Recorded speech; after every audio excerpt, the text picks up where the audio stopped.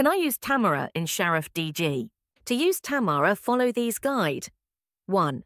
Start by browsing the products on the Sharaf DG website or app 2.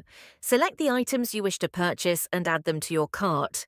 3. Once done, proceed to checkout page and choose Tamara as your payment method. Follow the on screen instructions provided by Tamara to complete your payment process.